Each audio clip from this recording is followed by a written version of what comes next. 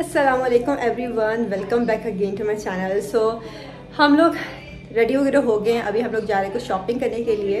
अभी बस जीनिया का वेट है, उसकी क्लास हो रही है। कुरान की कुरान की क्लास ख़त्म होगी तो हम जाएँगे शॉपिंग करने के लिए। हम लोग जा रहे हैं पाकिस्तान कुछ अरसे के बाद सो भाई की शादी है। सो अभी जो है ना, मैं जा रही हूँ कुछ साड़ियाँ वगैरह देखने के लिए। देखते हैं यहाँ से कुछ मिलता है कि नहीं। तो चलें, जीनिया की क्लास ख़त्म होती है ना तो फिर निकलते हैं शॉपिंग के लिए। मौसम इतना अच्छा हुआ है आज का। क्लाउड्स कितने मज़े के लग रहे हैं। मोबाइल नंबर है। क्योंकि इसमें आपको पता होगा मोबाइल नंबर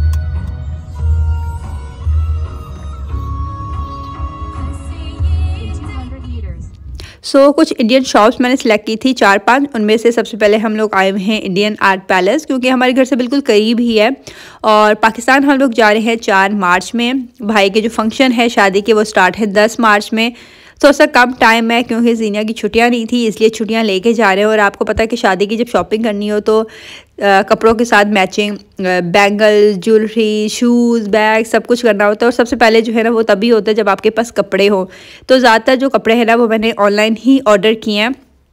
और मैं सोच रही थी कि किसी एक फ़ंक्शन में साड़ी पहनूं तो इस वजह से मैं सोच रही थी यहाँ से बना लेती हूँ क्योंकि साड़ी की प्रॉपर फिटिंग होना ज़रूरी है वरना साड़ी की अच्छी सी लुक नहीं आती है।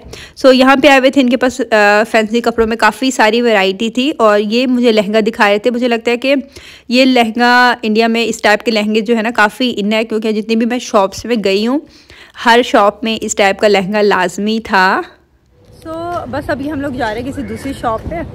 यहाँ पे चीज़ें वगैरह तो हमें देखी हैं। एक साड़ी मुझे पसंद भी आई है तो हमने सोचा कि किसी दूसरी शॉप भी विज़िट कर लेते हैं ताकि आइडिया हो जाए कि कहाँ ज़्यादा अच्छी है, वहाँ से फिर ले लेंगे। क्योंकि जीनिया की क्लास थी तो इसलिए हम घर से थोड़ा सा लेट निकले थे और जब हम शॉप से निकले तो बाहर काफ़ी शाम हो गई थी तो हमने सोचा कि साड़ी जो है ना नेक्स्ट डे ही लेंगे। क्योंकि मंसूर के एक फ्रेंड हैं, उनकी न्यू बॉर्न हुई है तो उन्होंने हमें डिनर पर इन्वाइट किया हुआ था। उन बेबी के लिए कुछ गिफ्ट्स लेने थे, उसके अलावा जीनिया लोगों के लिए भी शूज़ वगैरह लेने थे। शॉपिंग इनकी कुछ रहती थी तो हम लोग मॉल आ गए थे और शाम की हमारी चाय रहती थी। सो हमने सोचा बैठ के कॉफ़ी शॉफ़ी पी लेते हैं चाय पी लेते हैं और उसके बाद हम चले गए थे डिनर पे जहाँ पे बहुत सारे हमारे फैमिली फ्रेंड्स जो हैं वो इनवाइटेड थे। नो नो नो जीनिया नीचे गंद नहीं करो। पानी नहीं जानी प्लीज़ ओके बी केयरफुल इन लोगों ने एलोवेल डॉल्स लेके आई हुई हैं और तब से मुसलसल खेल रही हैं एलो एलोवेल डॉल्स के साथ। एलो मंसूर इसको आलू वाली डोल आलू वाला डोल ये बोल रहा आलू वाला आलू नहीं है एलो वेल तकरीबन 11 बज रहे हैं काफ़ी लेट हो गया और जीनिया जो है ना वो तो सो गई गाड़ी में। इलियाना एज यूजल एक्टिव है। और बस अभी घर चलते हैं। सो so, ये है नेक्स्ट डे संडे का दिन. संडे यहाँ पे फ़र्स्ट वर्किंग डे होता है सारे ऑफ़िस एंड स्कूल ओपन होते हैं. लेकिन इस दफ़ा ऑफ़ था तो हमने सोचा हुआ था कि हम लोग सुबह ही शॉपिंग के लिए निकल जाएँगे और अपनी शॉपिंग कंप्लीट करेंगे आज. लेकिन मंसूर जो है वो ऑफ़िस के काम से इतना बिज़ी हुए कि उनको शाम को टाइम मिला था तो शाम को ही हम लोग निकले हुए थे। तो यहाँ पे हम लोग आए हुए हैं, एक शॉप है रेड रोज़ जो कि हमारे घर से काफ़ी दूर है। लेकिन इनके पास वो सारी अच्छी अच्छी साड़ियाँ थी, जैसे मुझे चाहिए थी। मुझे नेट की साड़ी चाहिए थी, जिस पे हल्का सा काम हो। और क्योंकि मैं बिल्कुल फ़र्स्ट टाइम पहन रही थी तो मुझे बहुत हैवी कुछ नहीं चाहिए था। और इनके पास टेलर भी था। तो मैंने सोचा यहाँ पे ही स्टिच होने के लिए दे दूँगी। तो बस यहाँ पे मैं डिफरेंट डिफरेंट साड़ियाँ पहन के देख रही थी और इनमें से एक मैंने सिलेक्ट करके इनको दे दी थी स्टिच होने के लिए। उसके बाद जीनिया कहती थी कि उसने शोरमा वगैरह खाना है तो बस हम लोग शोरमा खाने के लिए रुक गए थे रास्ते में।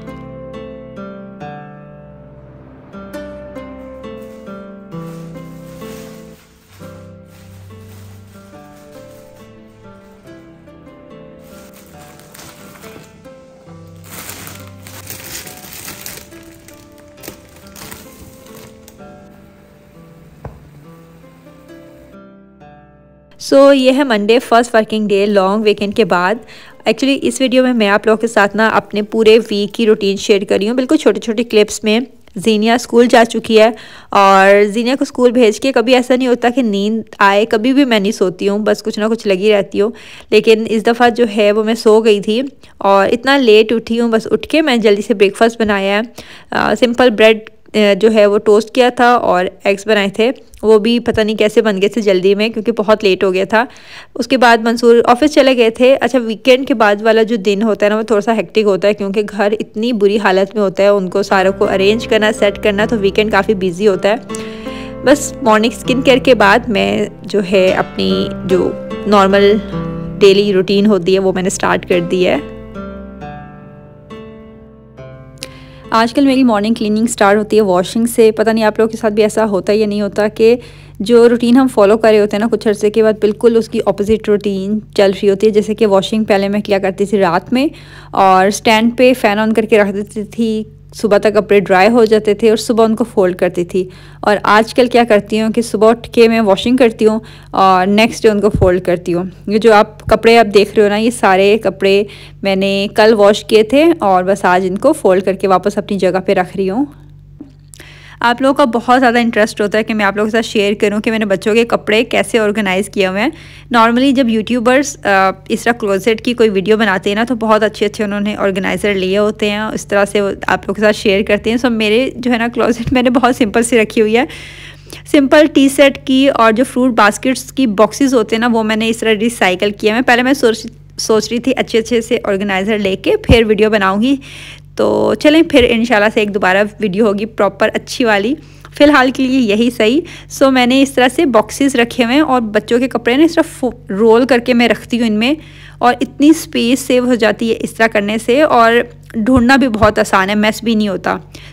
तो ऐसे बॉक्सेस रखने के बावजूद भी साइड पे स्पेस बच जाती है तो वहाँ पे मैंने जीन्स या मोटे जो कपड़े होते हैं ना, उनको रोल करके रखा होता है। और जो दूसरी साइड है, यहाँ पे मैंने बच्चों के जो पार्टी वेयर्स कपड़े हैं, उनको हैंग किया हुआ है। और जी, नीचे बॉक्स देख रहे हो ना, यहाँ पे जो विंटर्स का स्टफ़ है, वो मैंने रखा हुआ है।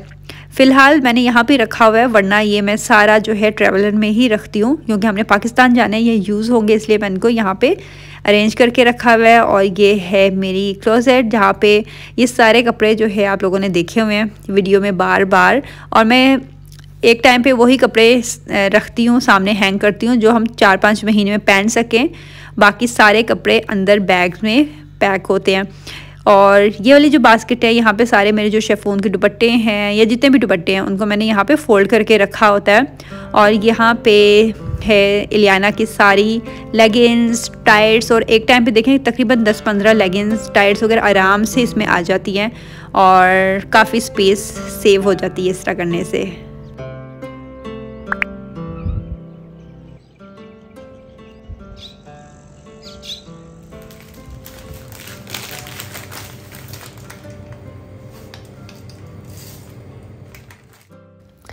तो ये वाला जो दिन है, ये है ट्यूसडे का दिन।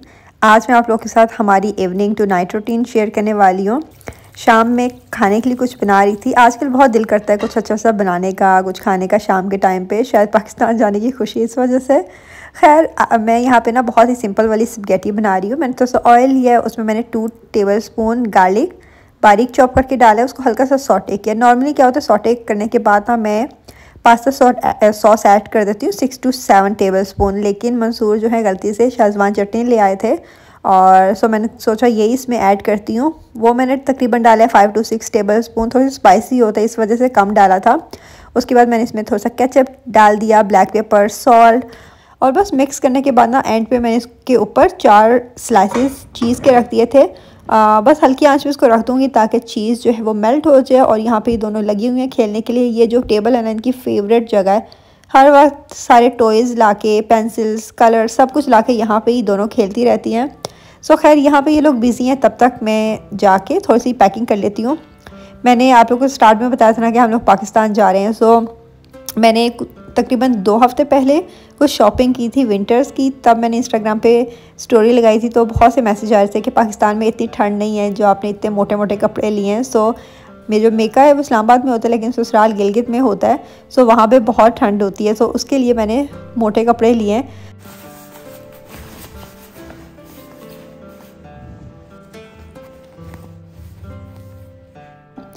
मस्कत में जो विंटर का सीज़न होता है ना, बहुत ही कम टाइम के लिए होता है। इसलिए जीनिया इलियाना दोनों के लिए जो मैंने कपड़े लिए ना, थोड़े से बड़े साइज़ के लिए और वैसे भी स्वेटर्स एंड जैकेट्स जो होते हैं ना, इतनी जल्दी पुरानी या ख़राब तो होते ही नहीं है। तो अगर बिल्कुल एज के अकॉर्डिंग ले लो तो एकदम से छोटी हो जाती है नेक्स्ट ईयर के लिए। सो इसलिए दोनों के लिए जो है ना, मैंने बड़े बड़े कपड़े लिए हैं ताकि नेक्स्ट ईयर भी आराम से ये जो विंटर का स्टफ़ है ना, चल जाए। सो जो विंटर की पैकिंग थी, वो मैंने कर ली है। नेक्स्ट वीडियो में इंशाल्लाह आप लोगों से बाकी पैकिंग भी शेयर करूँगी। सो so, जो है ना यहाँ पे बन गई है चीज़ बहुत अच्छे से मेल्ट हो गई है और साथ ही मैंने बनाए थे ढेर सारे फ्रेंच फ्राइज़ स्पगेटी और फ्रेंच फ्राइज़ जो है ना दोनों बहुत साथ मज़े के लगते हैं। ऊपर ढेर सारा मैंने केचप डाला और ये था हमारा इवनिंग स्नैक जो कि काफ़ी हैवी हो गया था। दिन में मैंने थोड़ा सा कम खाया था तो इसलिए ना मुझे बहुत इस टाइम पे भूख लग रही थी तो मैंने काफ़ी सारा खा लिया था। और बस अभी बाहर भी हल्का सा अंधेरा हो गया और पर्दे वगैरह जो है मैंने बंद कर दिए इस टाइम पे।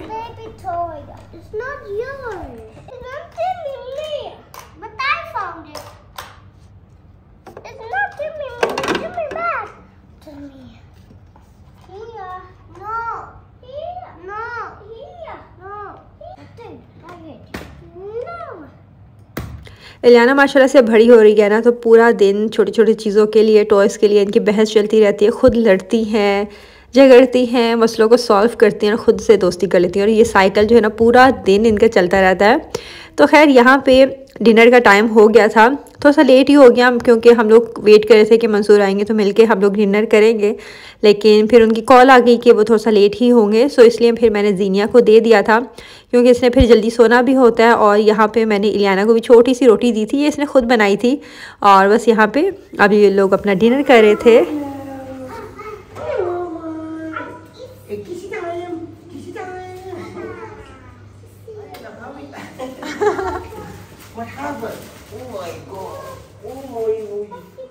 और बस मंसूर ऑफ़िस से आके चेंज वगैरह किया थोड़ा सा रेस्ट किया, तब तक मैं जीनिया को लेकर अंदर रूम में आ गई थी और जीनिया इतनी थकी होती है ना सुबह, क्योंकि जल्दी उठती है। बेशक हम लोग रूम में हों, बात वगैरह कर रहे हो तो जैसे ही बेड पे जाती है ना तो वो फट से सो जाती है। तो जीनिया बस सो गई थी, उसके बाद मैंने खाना वगैरह गर्म किया। खा, रोटी तो पहले से ही मैंने बना के रखी हुई थी जब जीनिया को दी थी। और डिनर में आज मैंने बनाए थे आलू मटर। जीनिया के बहुत ही फेवरेट हैं तो हफ़्ते में एक दो दफ़ा तो लाजमी ही बनते हैं हमारे घर में आलू मटर। सो बस यही थी हमारी routine evening to night routine और हमारी सैलड में ना कुकम्बर कैरेट लाजमी होते हैं। बिल्कुल स्टार्ट में नहीं खाया करती थी ये, लेकिन अब क्योंकि हमेशा होते हैं, हमें खाता हुआ देखती है तो अब जो है ना इसने भी खाना स्टार्ट करती है और बहुत शौक से खाती है।